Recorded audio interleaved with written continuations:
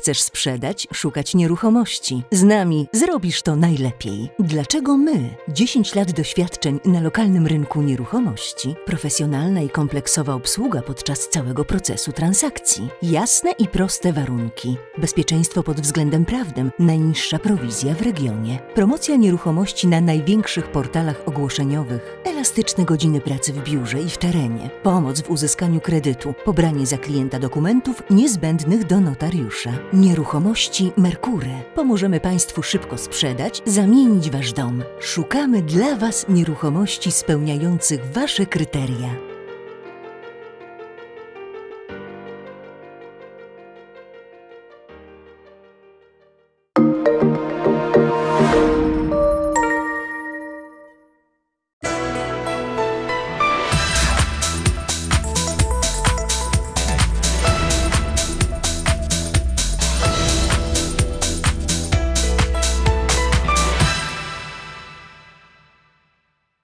Bartek Gąbusia, witam w poniedziałek 28 grudnia. Zapraszam na poświąteczne wydanie Telefaktu.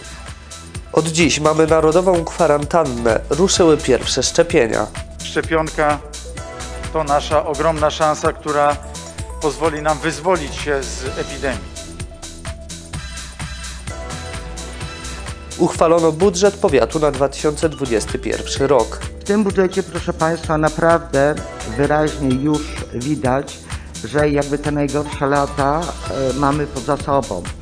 Ta sytuacja by była jeszcze lepsza na 2021 rok, e, gdyby nie pandemia. Ostrowieckie autobusy będą jeździć do Kunowa. linia 12, 13 i przedłużona dwójka, czyli wracamy do tego, co było wcześniej, wcześniej.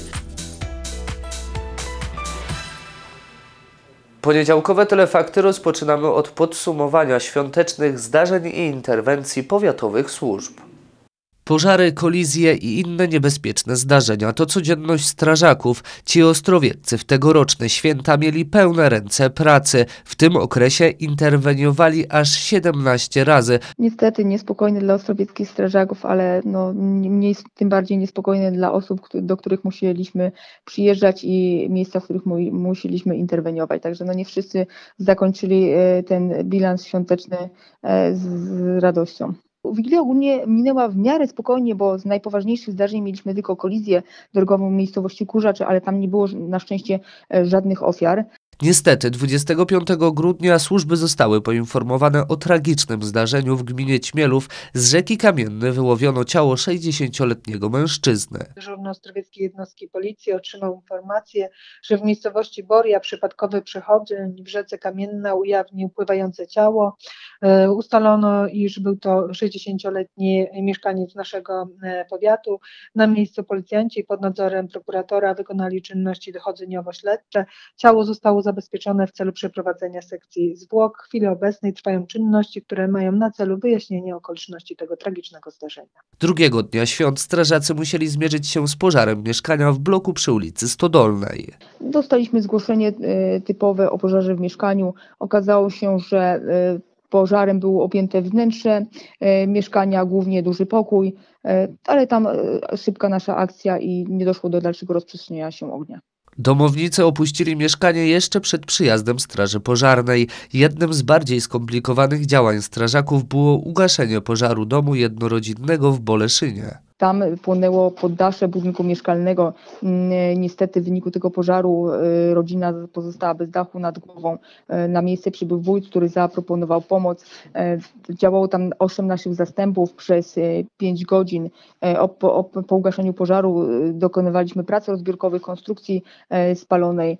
Zabezpieczaliśmy cały dach plandykami przed warunkami atmosferycznymi, więc dość trudna akcja. No i no, ni- niestety ludzie stracili dobytek swojego życia. W okresie pomiędzy świętami a Sylwestrem strażacy nie próżnują. Mianowicie rozpoczęli oni kontrolę punktów sprzedaży fajerwerków. Strażacy skupiają się przede wszystkim na tym, czy stanowisko do sprzedaży materiałów pirotechnicznych nie jest samoobsługowe. Tu powinna być obsługa. E, e, Patrzymy, czy jest takie stoisko wyposażone w dwie gaśnice pianowe i koc gaśniczy oraz sprawdzamy, czy pracownicy zapoznali się ze specjalnymi instrukcjami, jak, jak należy postępować e, przy sprzedaży tych fajerwerków i gdyby nastąpiło jakieś nieświadome odpalenie takich materiałów przez no, osoby nieznane. Tegoroczne sylwestrowe świętowanie z pewnością będzie inne. Nie możemy jednak zapominać o bezpieczeństwie. Musimy zachować zdrowy rozsądek podczas używania materiałów pirotechnicznych.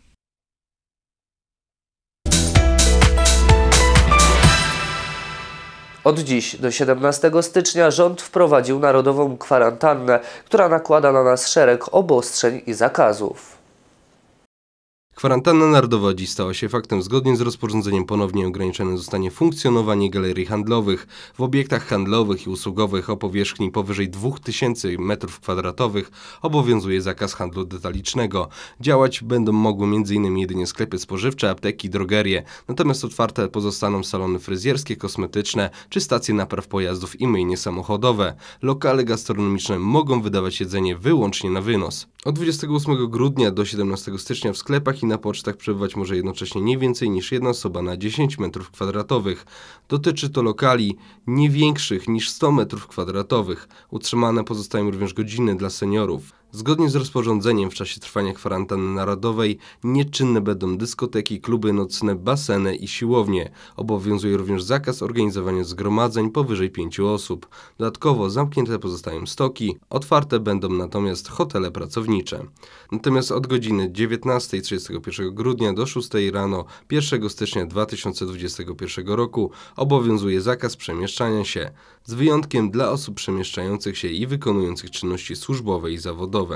Zgodnie z nowym rozporządzeniem, osoby, które przekroczą granice zewnętrzne Unii Europejskiej do 17 stycznia będą musiały odbyć obowiązkową 10-dniową kwarantannę. Nie dotyczy to osób zaszczepionych przeciw COVID-19. Dzisiejsze statystyki epidemiczne nie wyglądają źle. W powiecie ostrowieckim potwierdzono zaledwie 5 nowych przypadków zakażenia koronawirusem. Ministerstwo Zdrowia poinformowało dziś 28 grudnia o 3211 nowych i potwierdzonych przypadkach zakażenia koronawirusem. W ciągu ostatniej doby zmarło 29 osób. W wyniku zakażenia zmarła jedna osoba, natomiast w wyniku wystąpienia COVID-19 i chorób współistniejących zmarło 28 osób. Wykonano ponad 16,5 tysiąca testów. Polskie szpitale posiadają aktualnie 35 282 tzw. łóżka covidowe, z czego zajętych jest 17 078. 1599 osób oddycha za pomocą respiratorów. W sumie do dyspozycji oddanych zostało 3067 takich urządzeń. W ciągu ostatnich 24 godzin na terenie województwa świętokrzyskiego przybyło 55 zakażonych, z czego 5 przypadków pochodzi z powiatu ostrowieckiego. W województwie świętokrzyskim nie odnotowano dziś żadnego przypadku śmiertelnego. Od początku pandemii w Polsce zachorowało 1 261 010 osób, 27 147 osób zmarło, natomiast 1 5 376 osób pokonało chorobę. W walce z pandemią koronawirusa ma pomóc szczepionka. Od wczoraj w Polsce i w województwie świętokrzyskim ruszyła akcja szczepień. Do Polski w niedzielę dotarła pierwsza dziesięciotysięczna partia szczepionek przeciwko COVID-19. Szczepionka to nasza ogromna szansa, która pozwoli nam wyzwolić się z epidemii. Całe zespoły naukowe najlepszych naukowców od, tej, od tych spraw na świecie pracowały zaraz po wybuchu pandemii nad opracowaniem tej szczepionki. Dziś w godzinach porannych na warszawskim lotnisku wylądował samolot z kolejnymi dawkami szczepionki. Sukcesywnie co tydzień ich zapas będzie się zwiększał. Potem co tydzień będą takie transporty 300-tysięczne trafiały e, do Polski, a następnie jak kolejne firmy zarejestrują swoje produkty, ta liczba będzie wciąż wzrastała, więc logistycznie będzie e, to coraz większym wyzwaniem. W tym momencie trwają szczepienia osób z tak zwanej grupy zero. Pierwszą osobą zaszczepioną w kraju była pielęgniarka ze szpitala MSWiA w Warszawie. To szczepienie e, dotyczy bardzo szerokiej grupy. Ono nie dotyczy tylko i wyłącznie wąsko pojętej grupy medyków, czyli lekarzy, czyli pielęgniarek, czy ratowników. Chcemy, żeby ta grupa zero, bo tak ją nazywamy, objęła swoim zakresem również szerzej inne zawody związane z leczeniem, chociażby farmaceutów, chociażby diagnostów laboratoryjnych, ale też personel administracyjny, który pracuje w podmiotach leczniczych, tak żeby właśnie cała ta rodzina, cała ta grupa związana z leczeniem była właśnie w pierwszej kolejności zaszczepiona. W województwie świętokrzyskim pierwsza tura szczepień odbyła się w Starachowicach i Wojewódzkim Szpitalu Zespolonym w Kielcach. Pierwszą zaszczepioną osobą był pan doktor nauk medycznych Krzysztof Bidas. Jest to zastępca dyrektora do spraw medycznych Wojewódzkiego Szpitala Zespolonego, lekarz. Jako druga zaszczepiona została pani Wiesława Nowocień. Jest to e, pani dyrektor do spraw pielęgniarstwa i położnictwa, która swoje szczepienie zadedykowała e, e, e, położnym pielęgniarkom. Trzeci zaszczepiony był dyrektor naczelny szpitala pan Bartosz Stemplewski. Kolejno zaszczepieni zostali m.in. kierownicy poszczególnych klinik, a także Marek Bogusławski, wicemarszałek województwa świętokrzyskiego oraz Paweł Barucha, prezes Okręgowej Izby Lekarskiej w Kielcach. W sumie ponad 1100 osób personelu szpitala zespolonego w Kielcach wyraziło chęć przyjęcia szczepionki. Jest to około połowa pracowników tej placówki. Wczoraj do naszego szpitala dotarły szczepionki e, dla 75 osób. Wczoraj 15 osób zostało zaszczepionych. Dzisiaj e, jest szczepiony kolejny personel. E, I e, sądzimy, że e, dzisiaj, jutro wykorzystamy e, te 75 dawek e, szczepionki. E, Później będziemy zamawiać oczywiście kolejne szczepionki. E, I e, zależnie e, od tego, jak będą wyglądać te dostawy, mamy nadzieję, że e, 4 stycznia będziemy mogli ruszyć pełną parą ze szczepieniami naszego personelu w pierwszej kolejności. Po zaszczepieniu wszystkich osób chętnych z tzw. grupy zero sukcesywnie wykonywane będą szczepienia w poszczególnych grupach. Wśród szpitali węzłowych, które zostały zaangażowane do przeprowadzenia szczepień przeciwko COVID-19 jest Zakład Opieki Zdrowotnej w Ostrowcu Świętokrzyskim. apeluję o czynny udział w szczepieniach. Ja jestem troszkę zasmucony tym, że w służbie zdrowia, która no, de facto powinna dawać przykład tutaj, ten odsetek ludzi, którzy zdeklarowali się na szczepienie jest stosunkowo niski. Tak jak w przypadku pan dyrektor powiedział, on nawet jest poniżej niestety 50%. To pośród pracowników szpitala 350 osób się zdeklarowało. 320 osób mamy zdeklarowanych z przychodni, bo ten pierwszy etap szczepienia w szpitalach, jako tak zwany szpital węzłowy, ma prowadzić również dla wszystkich, dla całego lecznictwa otwartego na terenie powiatu, nie tylko miasta, ale również gmin, wszystkich przechodni. Więc do tej pory, proszę Państwa, mamy zdeklarowanych zaledwie 650 osób do zaszczepienia spośród personelu medycznego, co jest poniżej y, 50%. Jak udało nam się ustalić, w momencie kiedy szczepionki dotrą do Ostrowca Świętokrzyskiego, punkt szczepień będzie czynny 5 dni w tygodniu. Dziennie wykonywanych będzie minimum 180 szczepień. My y, będziemy to wszystko modyfikowali w zależności od potrzeby. Y, Jeżeli taka potrzeba będzie, będzie większa zgłaszalność, będziemy zwiększali obsadę lekarską, pielęgniarską do szczepień. Polska zamówiła w sumie ponad 62 miliony dawek szczepionki na COVID-19 od pięciu różnych dostawców. Koszt tego zakupu to ponad 2 miliardy złotych. A teraz wracamy do spraw samorządowych. Dziś odbyła się sesja Rady Powiatu, na której m.in. uchwalono budżet na 2021 rok. 28 grudnia obradowali radni powiatowi. Sesję zdominowała dyskusja na temat budżetu powiatu ostrowieckiego na rok 2021, który to przewiduje 174 miliony złotych dochodu przy ponad 177 milionach złotych straty. W tym budżecie, proszę Państwa, naprawdę wyraźnie już widać, że jakby te najgorsze lata e, mamy poza sobą. Ta sytuacja by była jeszcze lepsza na 2021 rok, gdyby nie pandemia, co przełożyło się też na nie tylko w powiecie ostrowieckim, ale we wszystkich samorządach na niższe e, dochody e, budżetu. Ja bardzo bym sobie życzyła, żeby nam się udało w całości zrealizować ten budżet i proszę Wysoką Radę o przyjęcie zaproponowanego projektu budżetu. Ponad 76 milionów złotych w budżecie na 2021 rok przeznaczono na powiatowy system oświaty i inwestycje w szkołach. Około 25 milionów złotych dedykowano na utrzymanie dróg powiatowych i inwestycje drogowe uwzględniając remont ulicy Sienkiewicza i jej skrzyżowania z ulicą Piaski.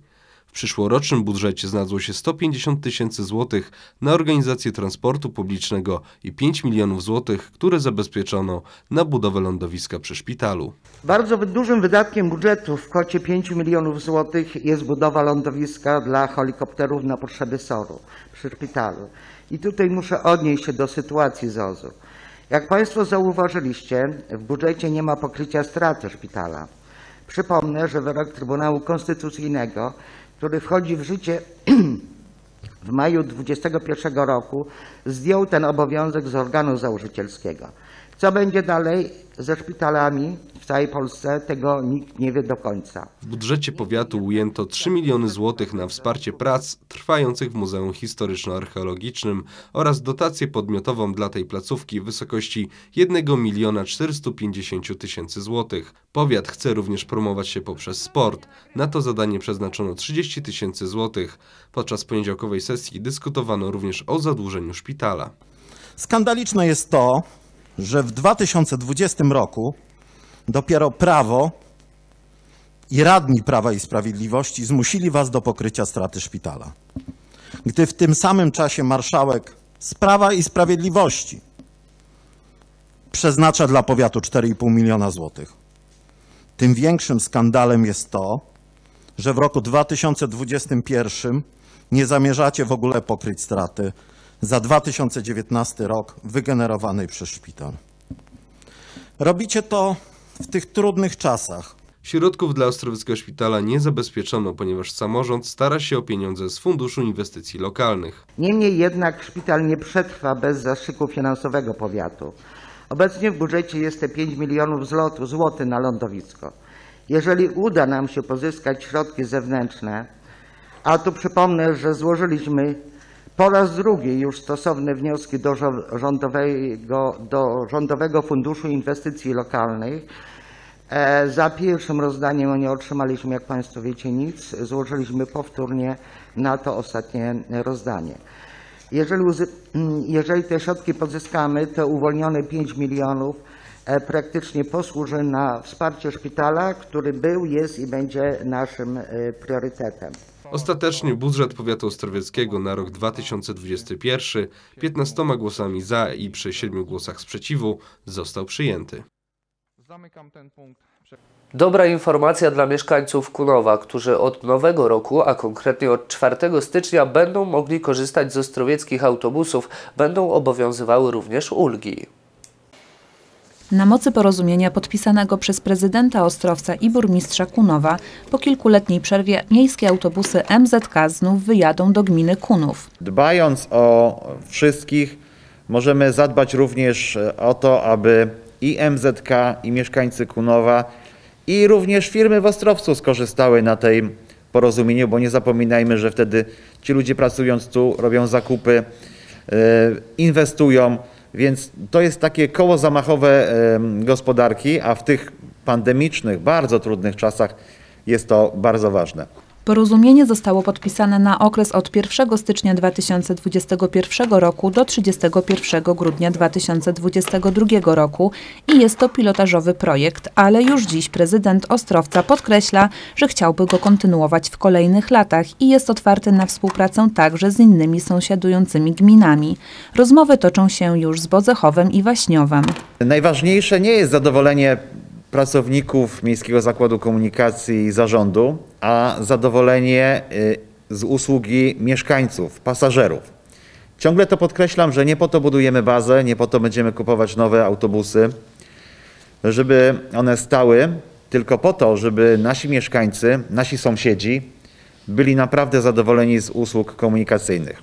Jednym z czynników, które wpłynęły na decyzję o podjęciu porozumienia był fakt, że od pewnego czasu mieszkańcy gminy skarżyli się na brak kursów do Ostrowca, a problem nasilił się wraz z pandemią, kiedy to prywatny przewoźnik ograniczył kursy. transport, szanowni państwo, nie domagał, to po pierwsze. Po drugie, sporo, w zasadzie można powiedzieć, no sporo to może za duże słowo, ale kilka miejscowości było całkowicie wykluczonych, jeśli chodzi o komunikację. MZK wraca z trzema kursami na Miłkowską Karczmę. Miłkowska Karczma nie jest tak daleko, a niestety osoby, które zainteresowane były dojazdem tymi liniami, nie miały takiej możliwości. Trwały negocjacje z różnymi instytucjami w tej kwestii przez te lata i wreszcie udało nam się wejść w tak bardzo ważne i ja nazwę go nawet piękne porozumienie. Zgodnie z zapisami zawartymi w porozumieniu, mieszkańcy gminy Kunów będą mogli korzystać z takich samych przywilejów jak pasażerowie MZK w Ostrowcu, czyli m.in. ulgi w cenie biletu dla dzieci do czwartego roku życia, ulgi dla osób niepełnosprawnych, czy też bezpłatnego przejazdu dla seniorów powyżej 75 roku życia.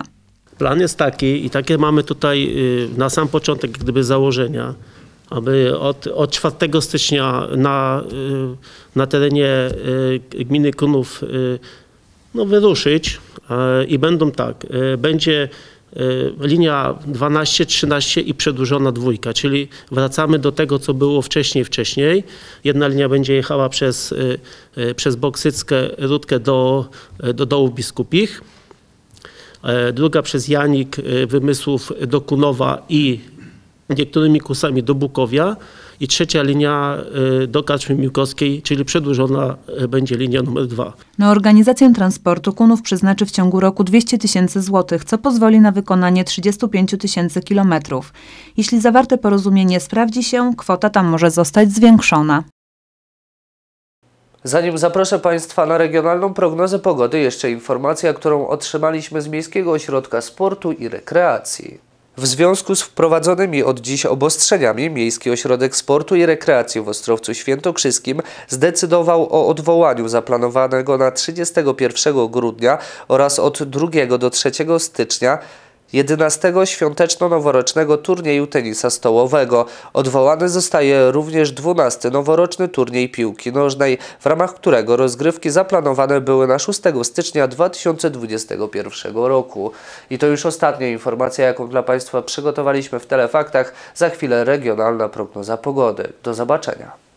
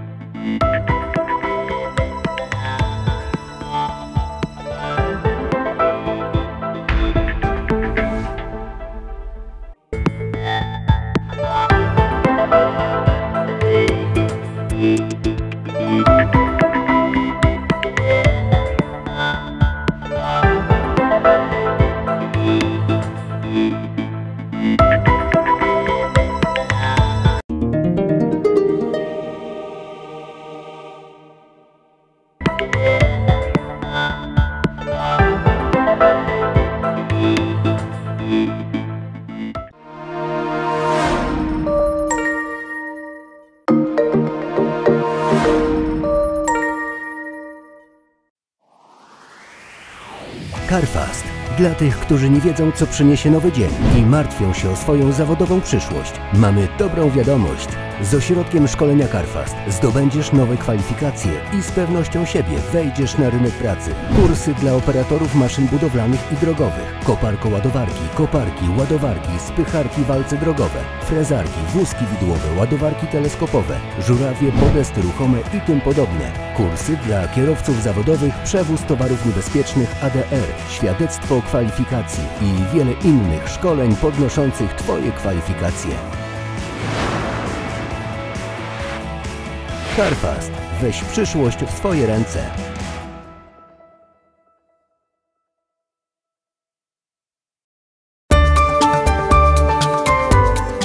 Kompleksowa rehabilitacja, profesjonalna obsługa, zabiegi dla każdego, dostępność 5 dni w tygodniu, konsultacje fizjoterapeutyczne.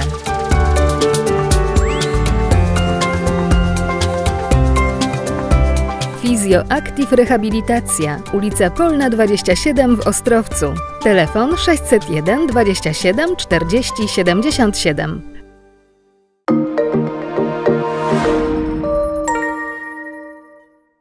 Smacznej pogody życzy sponsor. Pizzeria da Grasso w Ostrowcu Świętokrzyskim.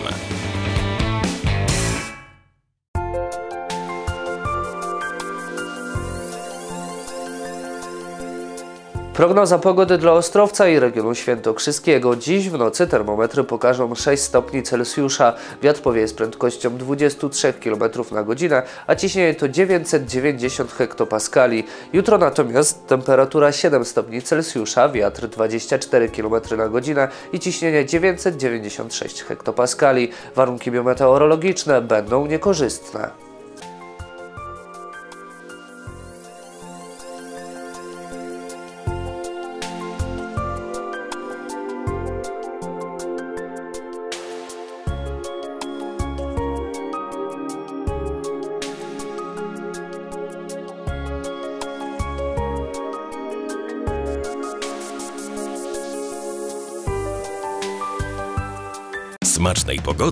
Życzył sponsor. Pizzeria da Grasso w Ostrowcu Świętokrzyskim.